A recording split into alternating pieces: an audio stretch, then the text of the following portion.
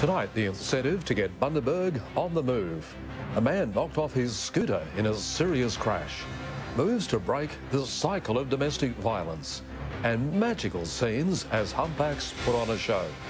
Across the wide Bay Burnett, this is 7 Local News with Rob Brough. Good evening.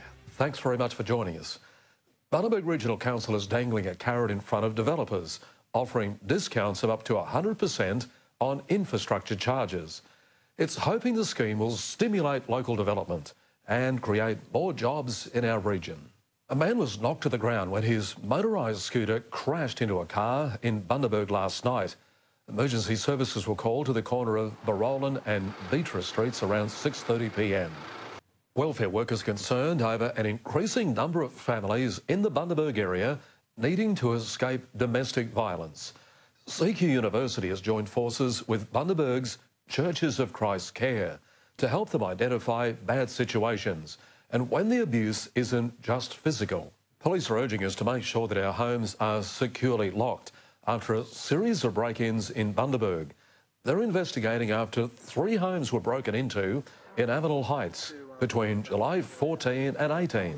The Friendlies Foundation has made its first donation to the private hospital to help expand the oncology unit in Bundaberg. The new centre will be the largest private oncology facility between Sunshine Coast and Townsville. Fraser Coast Regional Council is hoping to start fresh produce exports to Taiwan. It comes after 25 Taiwanese food buyers visited the Fraser Coast last week the whale season has officially begun, with tourism operators saying it's shaping up to be a good one. Our cameras were treated to an exclusive trip out on the Quick Cat 2 to Platypus Bay, where a juvenile humpback whale put on a spectacular show. If you want to book a trip, spectacular photographs there. Bundy Cafe takes out a top food award. We'll have that story in a moment. And how butting out has changed over the years.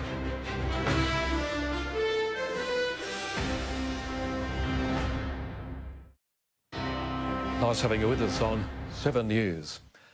Bundaberg's In Demand Cafe Indulge has taken out another top food award. It's won the People's Choice category for the second year running at the Good Food Awards in Brisbane. The Berrabra community has rallied to raise some money for a young girl who's in desperate need of a heart and lung transplant. Rihanna Worry's condition will eventually lead to the right side of her heart failing if she doesn't receive a transplant. It's been 10 years since tough laws saw smokers having to butt out at pubs and enclosed public spaces around our state.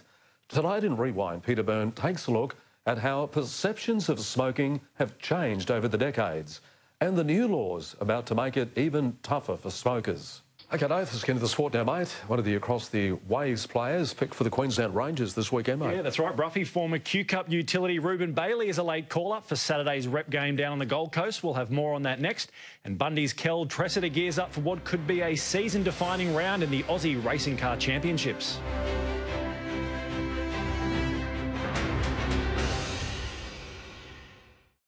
Welcome back to 7 News. Across the waves utility, Ruben Bailey has been given a last-minute call-up to play for the Queensland Rangers this weekend.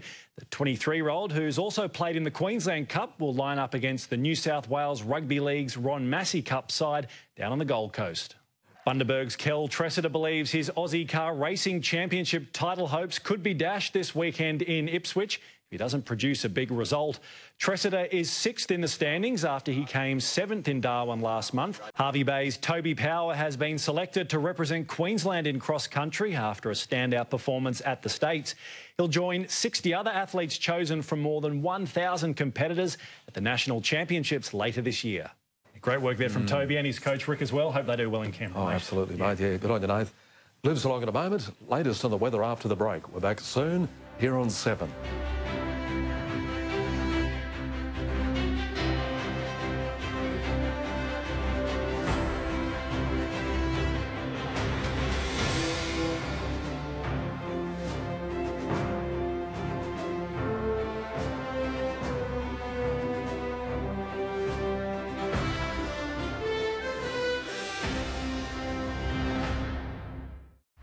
G'day, Livio Regano with uh, tonight's weather. Pleasant weather ahead for the Darling Downs and the Wide Bay Burnett, with the potential for some pretty high temperatures, especially at night.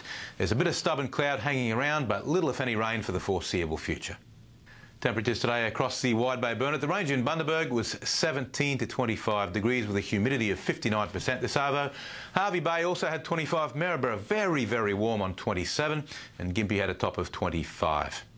On the satellite loop now, cloud is starting to break, but it's only slow. Still lots of it left across uh, North Queensland. Uh, the central interior, uh, where there's still some showers falling. Uh, and of course, just brushing across New South Wales could affect the Southern Downs tomorrow, but over southeast Queensland and the Wide Bay, it's been generally fairly clear. Now for today's chart, uh, once again we got a lot of fog this morning just in the vicinity of this weak high pressure system where the winds are really light and we've got a lot of moisture left over from the recent rain. Uh, in the north of course the winds are a little bit stronger but still quite light coming in from the east and they're sustaining the showers. That inland trough is getting the inland showers going. Tomorrow's chart, not much change on the surface. By this stage the upper level low finally moves off the coast and breaks up. So most of the cloud covering the Queensland interior uh, basically dices into almost nothing. Then for the outlook chart, it starts to get warm. Uh, we get northwesterlies coming across southern Queensland. Could be near record-breaking minimum temperatures anywhere in the state. Light winds in the vicinity of this high and hardly any rain. Latest now from the Weather Bureau. Boating forecast for Hervey Bay waters. Hardly any breeze tomorrow, so take the opportunity to use your tinny. Seas shouldn't be any higher than a metre. Northwesterlies developing on Friday up to 10 to 15 knots. Fraser Island offshore, north to northwesterlies around 10 to 15 knots already tomorrow, but uh, seas no more than a metre at first, but then winds increasing to 15 to 20 knots on Friday and holding strength through Saturday. Tomorrow's high tides at Burnett Heads around 9.17am, Urangan Pier 9.24, Waddy Point just before 9 o'clock. That's on Fraser. The Wide Bay Burnett District, partly cloudy tomorrow with some early fog. Otherwise, a warm and pleasant day. Bundaberg 14 up to 25 degrees. Gympie 12 to 26. Hervey Bay 24. Maryborough 26 again. And looking ahead for Bundaberg, temperatures lingering around the mid-20s as we head into the weekend. There's still a bit of cloud around, but no rains expected. And that's it for tonight. Don't forget if you have any weather-related photos you'd like me to put on TV or special questions about weather, just shoot us an email at asklivio at 7.com.au. Enjoy what's left of the evening, and I'll catch you tomorrow. Back to the team. Wonderful, Eve. Good on you, mate. Thanks very much for your company, folks. We'll catch you again tomorrow. Reminder, if you missed any of our news, we have the replay on 7.2 coming up in a moment. From the team... It's 7 o'clock. Good night.